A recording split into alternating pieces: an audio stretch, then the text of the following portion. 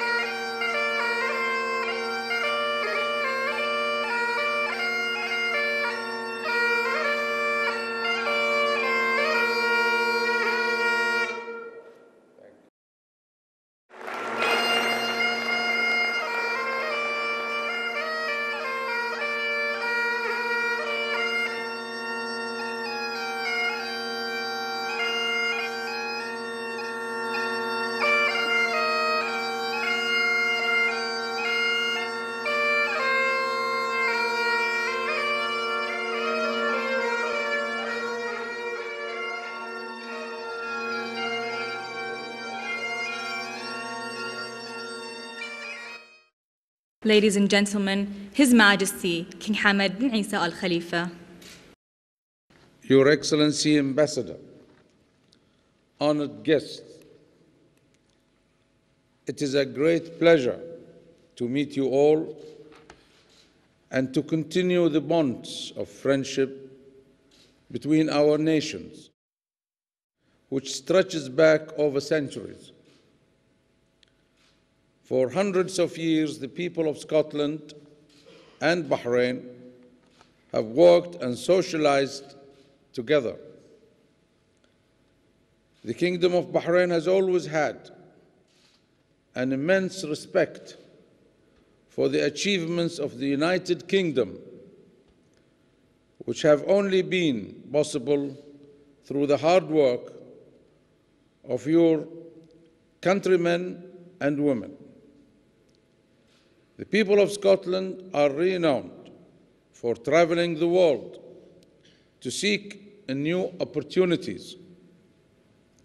And we are delighted that you are continuing that tradition here in Bahrain. Thank you for bringing your expertise and your talents to our country.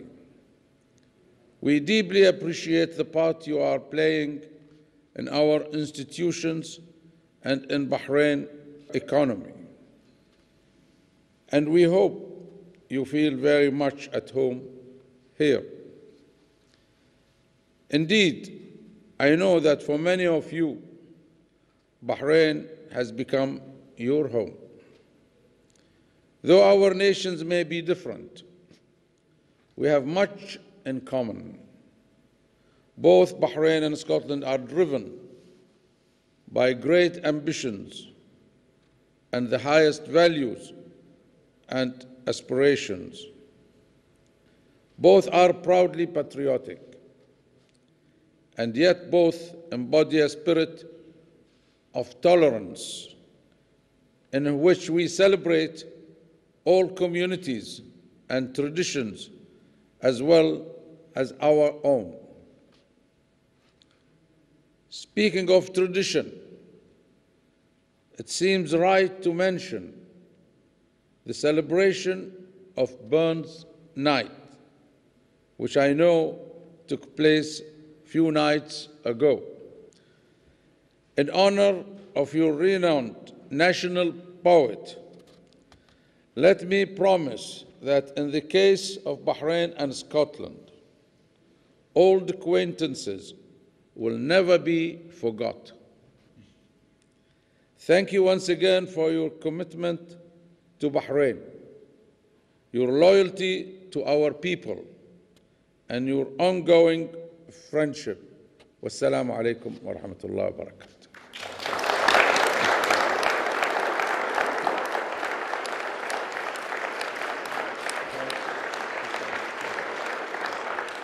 I'd like to welcome His Excellency, Mr. Simon Martin, the British Ambassador to Bahrain. Your Majesty, please allow me on behalf of the members بعدها ألقى سعادة سفير المملكة. المتحدة لدى المملكة كلمة شكر فيها جلالة الملك المفدى على دعوته الكريمة وعلى هذه المبادرة لتكريم سامات اسكتلندا والاسكتلنديين في البحرين وأشار إلى أن العلاقة بين المملكة المتحدة والبحرين هي علاقات فريدة من نوعها حيث يوجد الكثير من المصالح المشتركة والعديد من العناصر المشتركة في تاريخنا.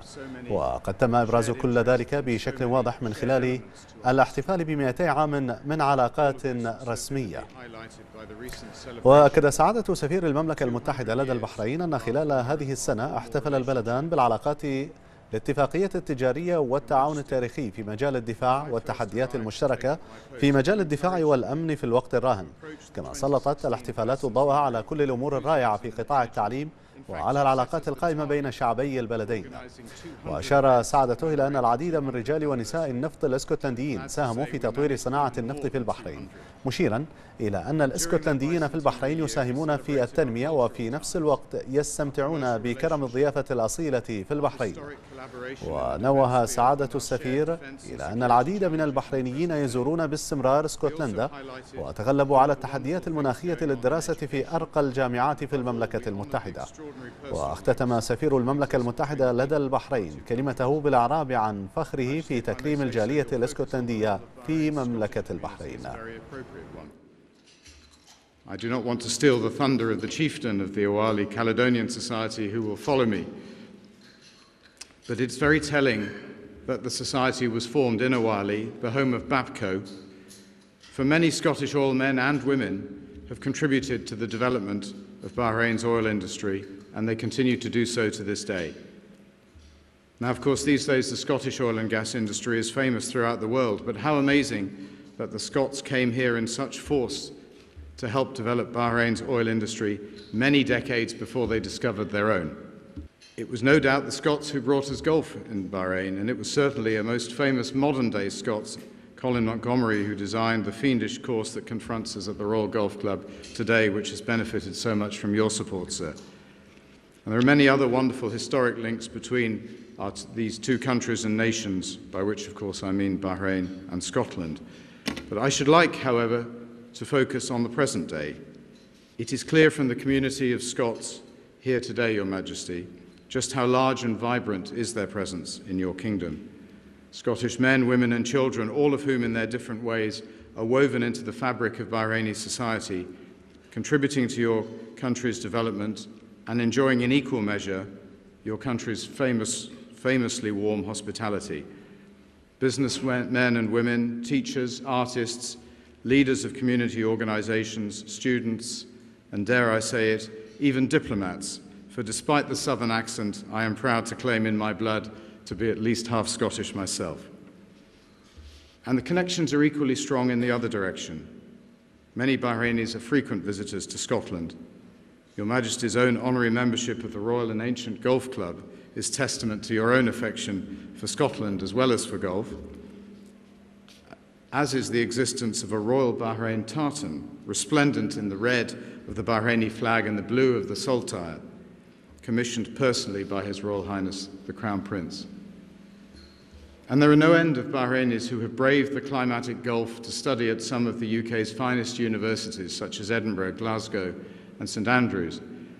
But, Your Majesty, I wonder if it would surprise you to know that one in a thousand of your subjects has graduated in the last 12 years as a Master of Business Administration from the University of Strathclyde. A, a wonderful example of the current contribution that Scotland makes to Bahrain. These Scottish Bahraini graduates are already to be found across the business and government sectors in Bahrain, making, I believe, a really substantial contribution to the economic and wider reform and development which I know is so important to Your Majesty's vision of the future. So, Your Majesty, the links between Scotland and Bahrain continue to grow, and it is a source of great pride to me as British Ambassador that you should wish to honour the Scottish community in your kingdom. From all of us, sir, thank you.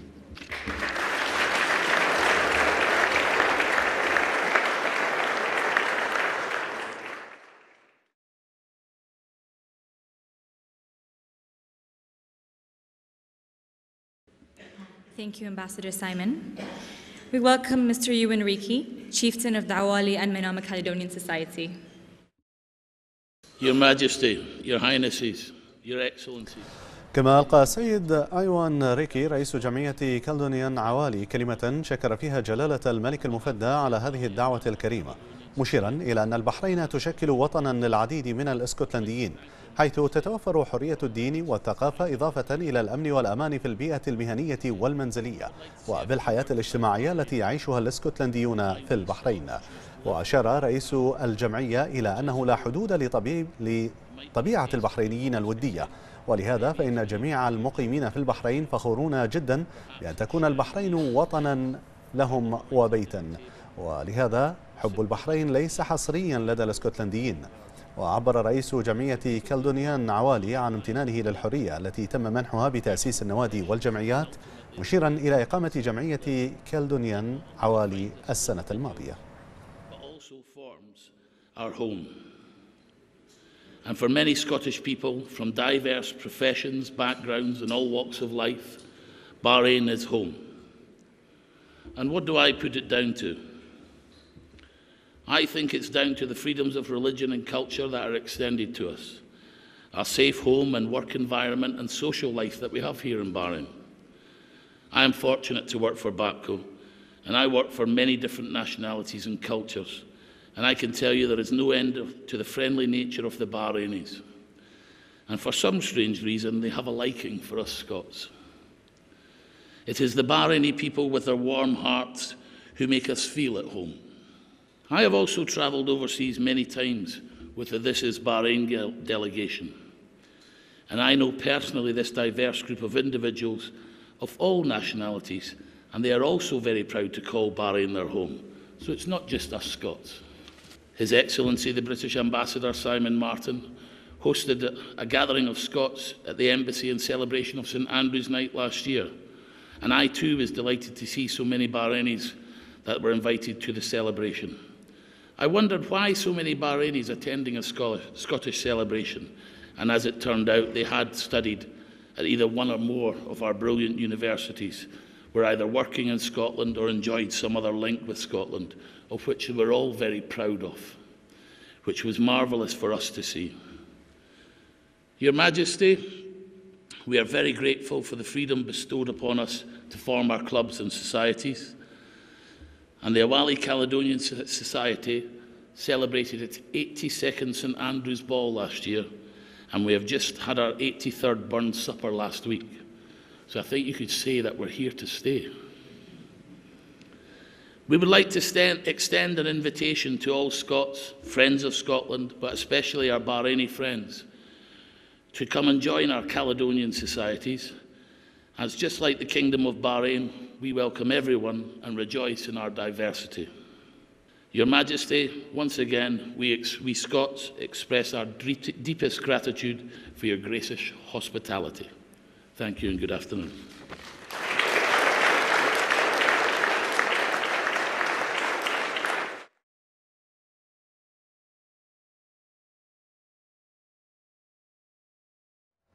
هذا وقدمت هدية إلى جلالة الملك المفدى باسم الجالية الإسكتلندية بهذه المناسبة.